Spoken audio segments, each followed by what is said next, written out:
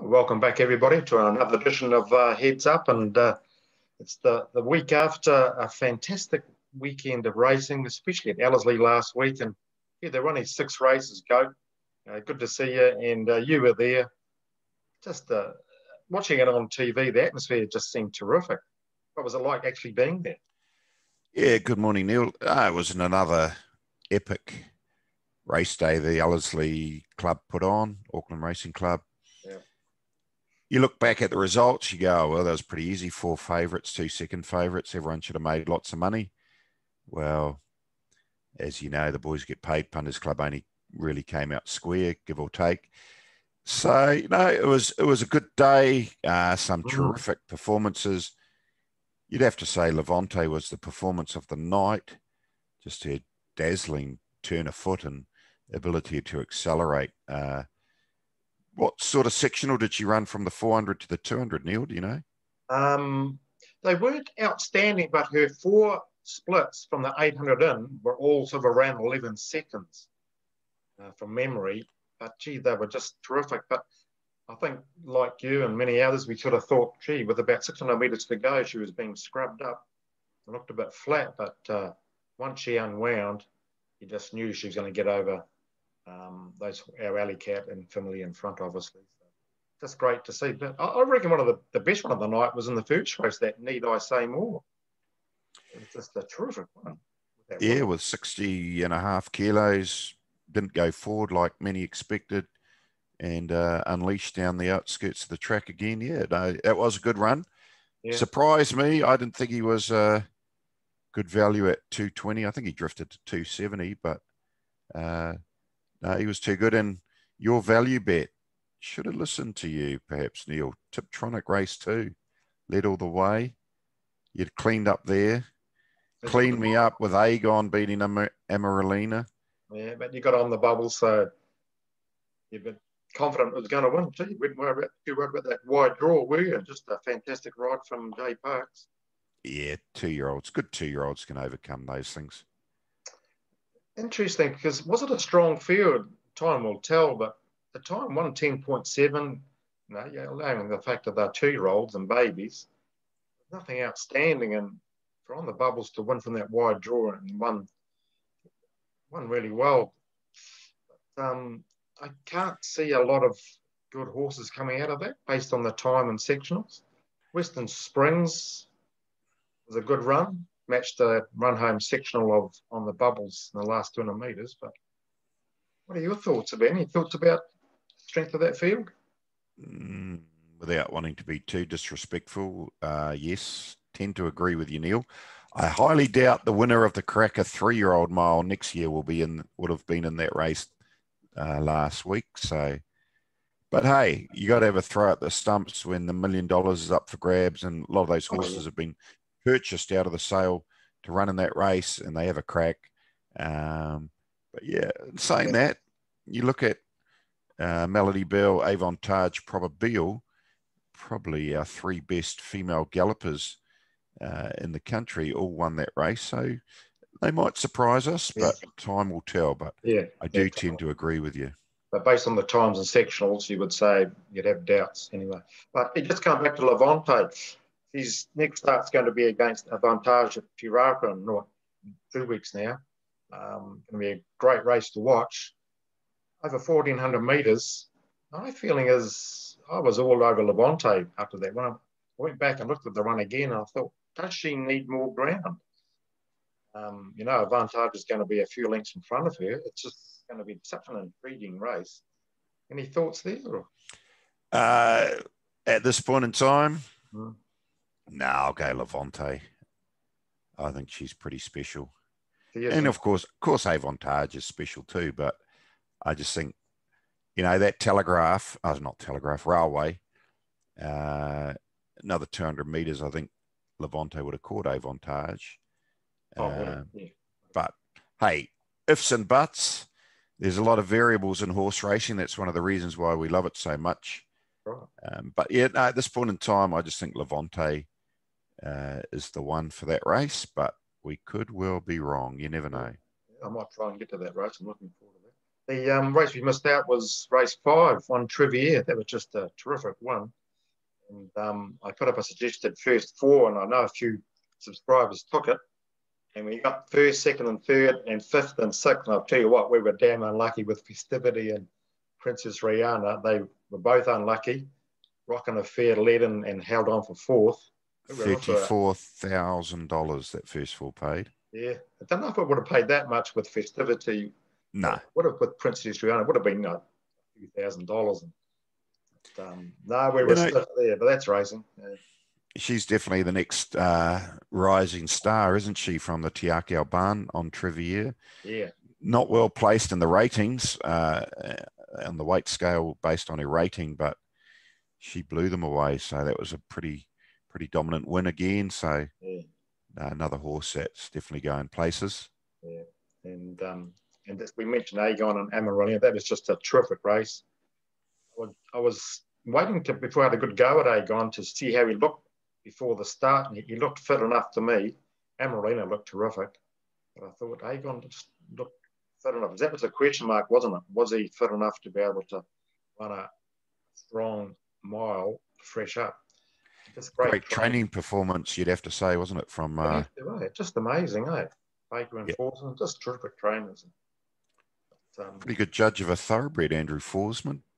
Only bought a few horses for the Zame family, and yeah, they've come up with Jon Snow, Rhaegar, and Agon. I think he's only bought four or five, and there's three of them. Yeah. And two of them are going to be million dollar plus earners. So pretty impressive uh, right, yeah. ability there to find one in this sale yard for yeah. young Mr. Forsman. We didn't mention uh, Montre won that race too. Came home in, in, a really good sectional on target for the, the Derby, by the sounds of it, at least all three times. So. Yeah, yep. No, that was a good run as well. No, all up, it was a great night. Um, always a great buzz on course, and uh, just a pleasure to be a part of, really. And then yeah. carried on at the sales the next few days. There's plenty going on there, despite the situation they found themselves in. So uh, it's been a big old week, I have to say, Neil. It's kind of good just to yeah. come home and have a bit of rest before right. getting into it again tomorrow. Yeah, good freshen up there and uh, we've finished last week's races to get now. So on to bigger bigger races tomorrow. Well, big races tomorrow. Race seven, the Thorndon Mile. Um, not a big field, but um, two or three quality horses on there. Melody Bell, Rock on Wood, the Mitigator won it last year. Shadows Cast, Deerfield, Cinerama, all good horses, aren't they? So, yeah, small but select field, you'd say. Hmm. Probably if they had a choice of barrier draw. The last draw they'd probably want for Melody Bell would be barrier one, and that's what she's drawn. So that adds a little bit of a extra dimension into the race. Could she get blocked for a run? There's a small field, should be able to find a way out of trouble, especially with Opie Bosson on board. Rock on Wood won the Captain Cook same distance, same track, some eight weeks ago now. What do you reckon? I reckon you might be swaying towards rock on wood, just the feeling I've got in your voice. Yeah, well, you mentioned that, that draw, and that's the crucial part. And if these jockeys are onto it, and I'm pretty sure they will be, they know she's the biggest danger. The speed map says the mitigator leads out, Deerfield comes out and may take the lead off the mitigator. What does that do to Melody Bell? It puts her three back in her with Rock on Wood and Shadows Cast. Well, Shadows Cast probably coming over second out and Rock on Wood and one by one, putting Melody Bell three back in it. So I reckon um, Melody Bell, $1.55, I just couldn't back her at that price, but Rock on Wood at $2.25 to win or money back second does look the best bet for me. Really does. You know, he, when he, like I mentioned that Captain Cook, he won that three wide in the open off the pace, came out wide and just kicked their backside. So. And the horse that ran second in that race came out and won a Group One at its next start, Concert yeah. Hall. Yeah, and Rock On Wood would have beaten her, I reckon, if he'd got a clear run.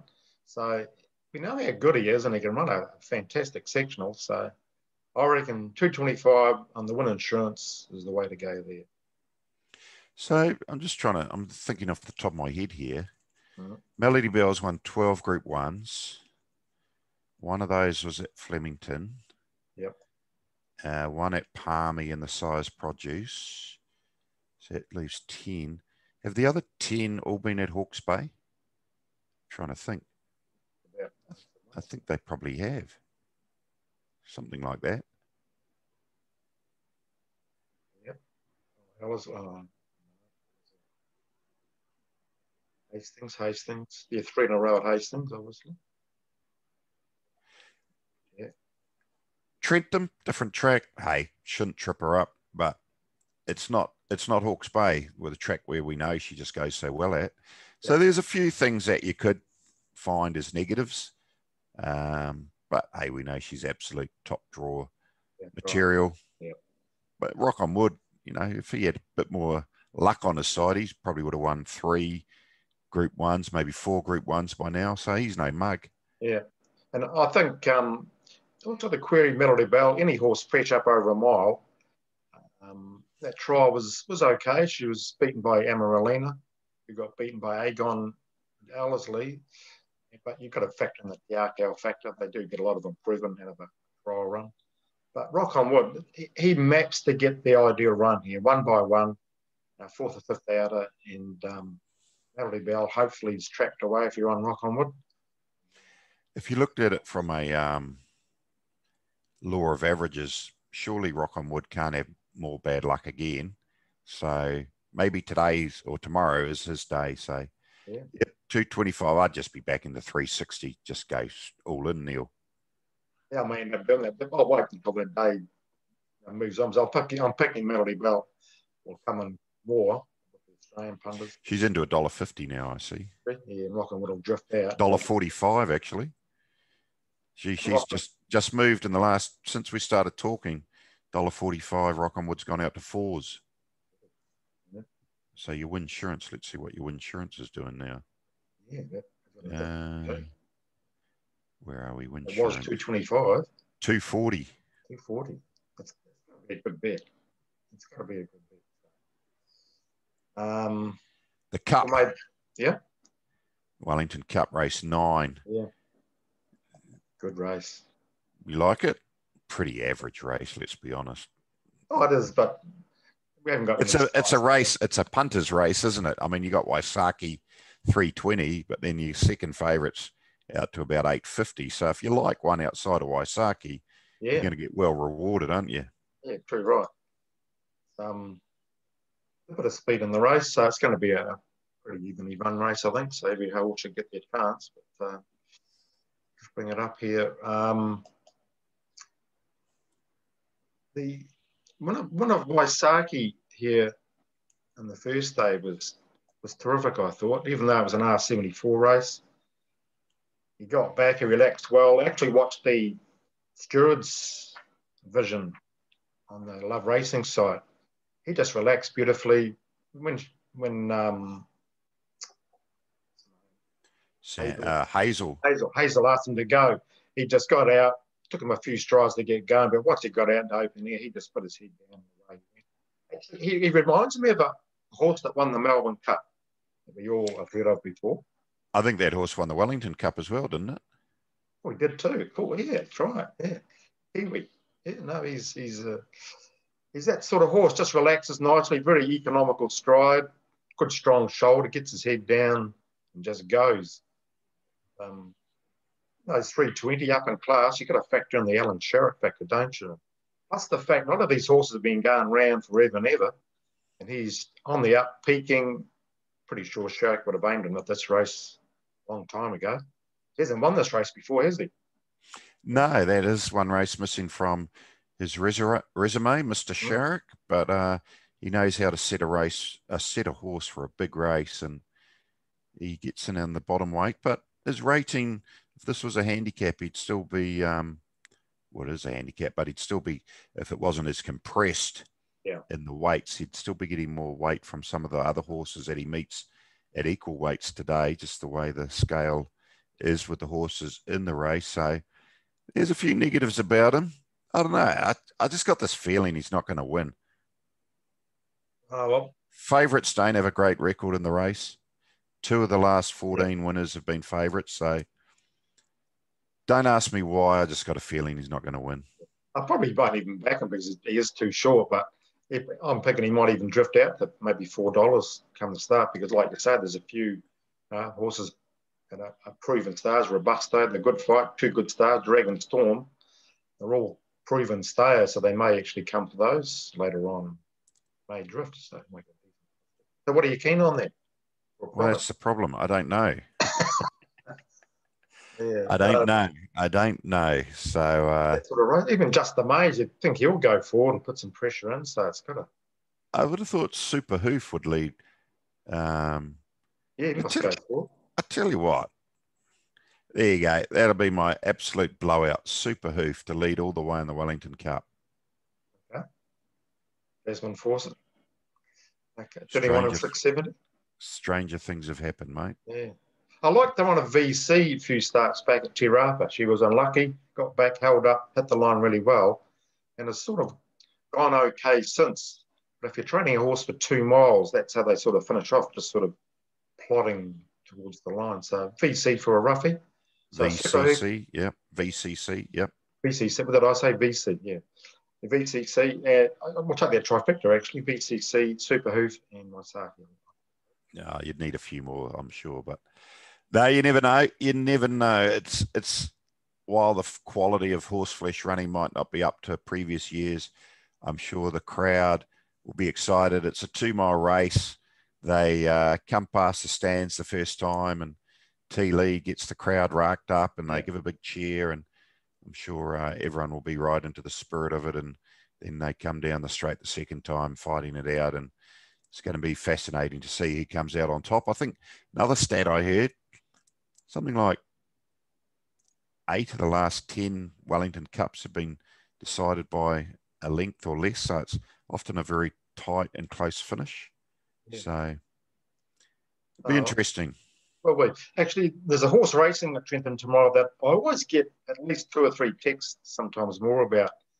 Um, ask the goat. What does the goat say about Girder?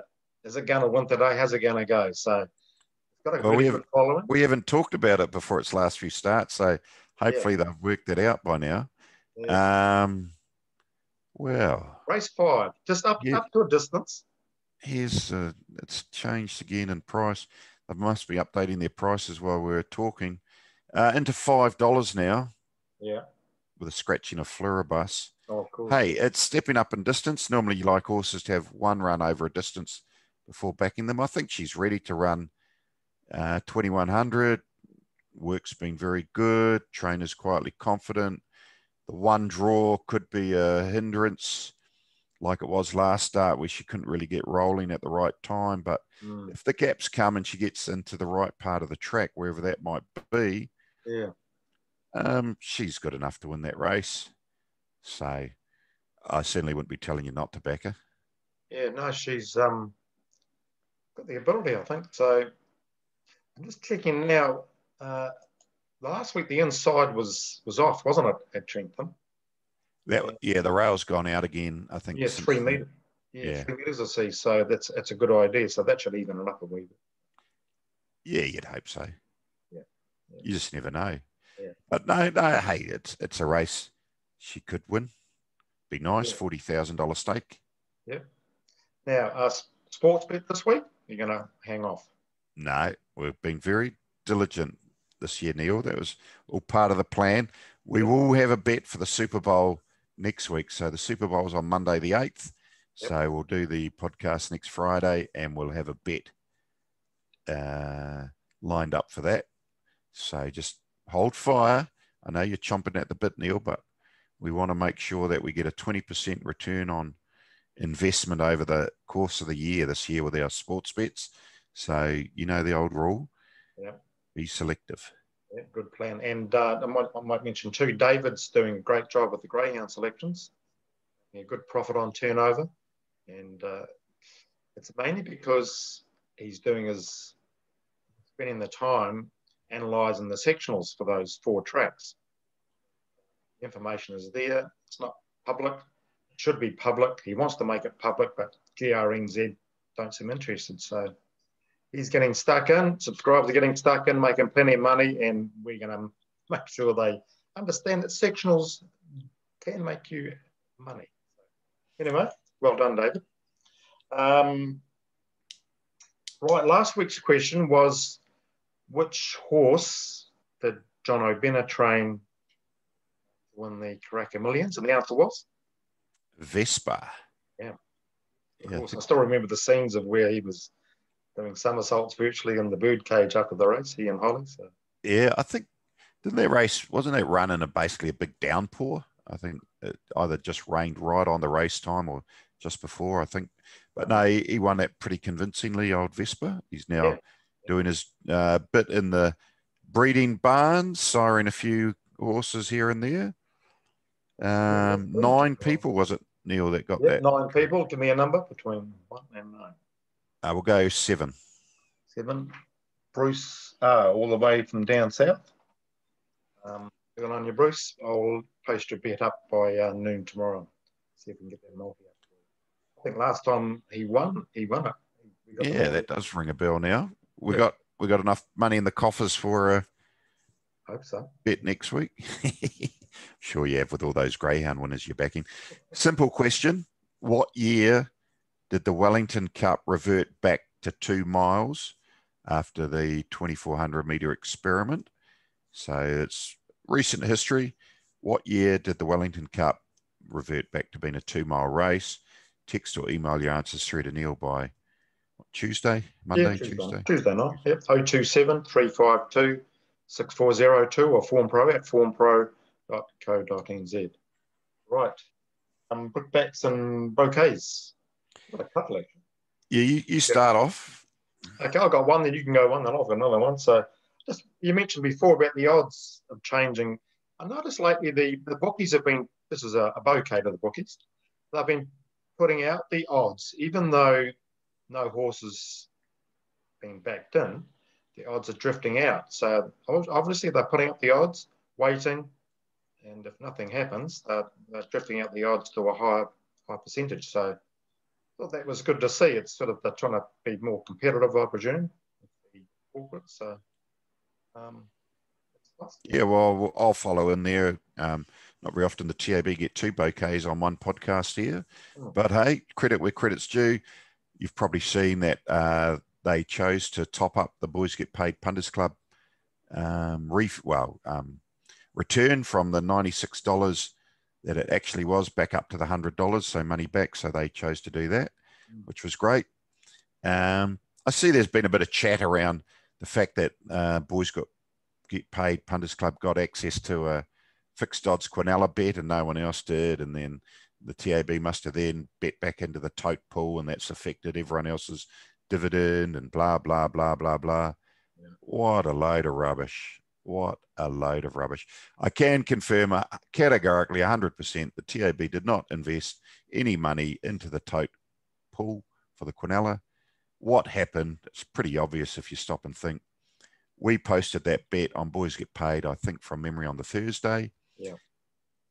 17,000 people saw that bet. A few of them obviously thought, yeah, we'll, we'll follow it in like they invariably do with a lot of punters club bets. And the only place they could follow it in on was the tote. Obviously, they didn't have access to the fixed odds Quinella. So that's why the will pay, I think 20 minutes out was $1.30 and the pool was at a decent size. And then uh, I think the will pay ended up $1.70 from memory. So no corruption, no people bidding back in, no change of the takeout rate. Um, just a big storm in a teacup, really. I wouldn't make sense anyway. So uh, make, I agree 100%. Okay. Um, another bouquet goes to Love Racing. They, well, NZTR, uh, having going stick reports. A going stick is where they stick in a, a, stick into the ground and then shear it back so it simulates a, a galloping horse on a track and they upload those readings all around the track, similar to a penetrometer readings, but um, a lot more and all around the track. It gets uploaded and a map comes out of what the track is like all the way around the track. Hastings had one on Thursday. Um, it was nothing spectacular to, view, but um, as the tracks get wetter and we've got the rain coming months, it's going to be a really good thing to have. eight tracks are going to be trialing it. And um, good information because the Australians want that information. They do it for most tracks now in Australia. So great to see that going stick or the, the going map. Go to the meeting news on Love Racing, you'll see the Hastings going map. So well done. Yep. Um, the other thing was too, I know you've started up a, a Facebook page and about T. Lee, that it's just a terrific commentator. We know he's got a lot of stories to tell him. And you open up this Facebook page and and um, tell us a bit more about what you're doing on there. Yeah, I just thought uh, the great man deserved a bit of kudos. He hates it, to be honest. He doesn't like the limelight, but he accepts that uh, he's got lots of fans throughout the world. Yeah. So I started a Facebook page called, and it's just Tony Lee Appreciation Page. Uh, give it a like and a follow on Facebook. That'd be great. There's a few videos up there already. We'll do another one tomorrow at Trentham. Uh, we'll get some good stories out of Tony, hopefully, stories that no one's never been told before. Uh, hopefully, we can get one. We won't preempt it. Uh, but no, just uh, acknowledgement of his contribution to the industry and how much uh, people enjoy his commentaries and his input. So, no, it's it's a bit of fun, bit of humour, which is always the way with Tony. He's always quick yeah. with a with a joke and a laugh. So, yeah, Tony Lee appreciation page on Facebook, uh, like that, follow it, and um, we'll keep bringing you a bit of content from uh, Tony. Yep, no, that sounds really good. I'll be looking at that. But I'll put a link up to it. Um, right now, nothing else before we go on to walking down memory lane. Um, no, well, I guess this kind of segues in. Yeah. The horse that really, um, probably the earliest call of Tony's have, has been um, sort of immortalised, I guess. Castletown winning his third cup when Tony said the dream burst into reality. So yeah, the walk down memory lane horse this week is Castletown, a horse that had 103 career starts, 16 wins, 2.6 million, I think, in prize money. But here's the stat that 2.4 million in prize money. The stat that uh, amazes me, Neil. Yeah. Of those 103 starts, how many of those were at the ultimate two mile trip, do you think? I don't know, half a dozen. Well, I don't know, seven or eight. Try 14. You're joking. So we know you had four, four starts in the Wellington Cup, won three of those. Yeah. three starts in a Melbourne Cup, placed in one of those. Yeah. I think he had two starts in the New Zealand Cup, uh, maybe three in the Auckland Cup and two in the Sydney Cup. 14 starts over two miles. Remarkable, really, isn't it? I was there when he won his third um, Wellington Cup. You were there too, weren't you? No, that was the one. I was there for the first two, but I missed the oh. third one. Yeah, no, I was living yes. in Nelson then, and my father and I, we're both keen racing followers. We, we caught the ferry across. On the way on the way across, we um, started chatting to this chap and realised he was one of the Dennis brothers. He had a horse on the um, in the Wellington Cup, the something I forget what it was. um, no, it was, and it rained on the day at, at um, Trentham too that day, I think. Well, later after the cup, I just can't quite remember, yeah. but it hosed down at some stage. Yeah. Um, yeah, I remember. Uh, it's scary, actually. I can vividly remember the day, and it's 30 years ago when he won his first cup in 1991. Um, yeah, beat Shuzora. Noel um, Harris on then, I presume. Yeah, head bobbing finish. I'm just going to see if I, I'm going to see if you're telling lies or not, Neil. Find this race. See if it tells us. Well, that um, third cut. Uh, no, yeah, it doesn't bring up the field, unfortunately. Yeah. It's going to try and find the um, the the horse. Yeah, I'm sure they did have a horse in there. They've bred many a good stay. I have the Dennis brothers.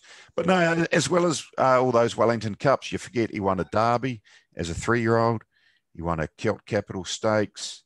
He started racing as a two year old, won a 1200 meter race as a two year old, yeah. racing right through to eight year old. So, um, a phenomenal horse and, um, yeah, just a marvel, really. Yeah. And I guess we, we kind of reminisce about these horses and we might go, oh, it's not the same these days. But um, yeah, I, I just think he was a horse that was just an amazing horse. And Paddy Busuttin trained him. Noel Harris was the rider on the majority of occasions, and Yeah. he is in the Hall of Fame, I think, from memory. And three Wellington Cups. Will we see a horse win three Wellington Cups again in our lifetime, Neil? Yeah, no, we won't. Yeah, about it. But, um, we talked about this before about having, say, a farm where you've have these famous horses that retire, and so people can go and see them. I think with um, interest in racing, now it'd be good to be able to go and see these horses. Obviously, he's passed on since then. Yeah, how long ago did he pass away, Castletown? Uh, let's see if it tells us. Uh, it's a good question, that. But it'd be good to be able to go and just you know see these horses and look them in the eye, and they if they had replays of their races, you could see and see the horse there and give them a pat and give them a carrot or something. Just over three years ago, December 2017, Gee, um, passed away at age 31. So, pretty good uh, life he had there. Oh. So, yep. Yep. Placed. He was placed in two Sydney Cups as well. So his record was amazing over uh, two miles. yeah, that's amazing. Yeah, terrific horse. Rightio. Um, anything else you want to mention about Castletown before we close shop? I remember as actually this is a funny story. I remember his uh, first Wellington Cup, and I was up there in the members stand up the top there, seeing this blooming annoying child, two of them running around. Like I, I'm admittedly I was only what was I? I was only nineteen, but these two kids they were about ten and eleven, real brats I thought, and they turned out to be Bjorn Baker and Trent Busuttin. Uh, good stuff. Yeah. Yeah. Yeah, they haven't changed. Yeah, no, Trent definitely hasn't. That's for sure. that's right. Yeah, yeah. No, he's doing well in Melbourne too, isn't he? No, big kudos to him and, and his partners. Natalie. Yeah, him and Natalie. Uh, yeah, no, he um, he certainly uh, has a go, and he buys horses, and he he sets them for big races, and you know he won the Blue Diamond. What was that last year? I think from memory. Yep. And so uh, no, he's he's a good man, Trent. Good man to have a beer with. That's for sure. Yeah, no, true, right. Yeah. Oh, well, everyone, thanks very much for that. That was really interesting. I've got a horse for next week It goes back a fair way, but it was a horse that I used to go to LZ races to watch. He was just the horse that would attract me to go, like Levante. He's a horse you'd like, you'd go and watch race. This is a horse that I would go and I'll mention that next week. So, um, everyone, I want to see Gerda win tomorrow. We'll bring it into $4 by start time. And um, hopefully she gets up for us. So, you'll be cheering her on, obviously. Absolutely. Yeah, I guess what we haven't touched on, Melody Belle obviously going for the record equaling Group One win, number 13 to equal Sunline. So uh, bit of history could be made there tomorrow. So, and if she does that, then she'll be going for the outright record in two weeks' time in the Herbie Dyke at Te Rapa. So that could be a big old day at Te Rapa with Melody Belle and potentially the clash between Levante and Avantage. So yeah, gee, if you're in the region, get along. Yeah, meeting worth going to. Anyway, okay, everyone, uh, good luck with the races tomorrow. Good day racing and uh, good punting.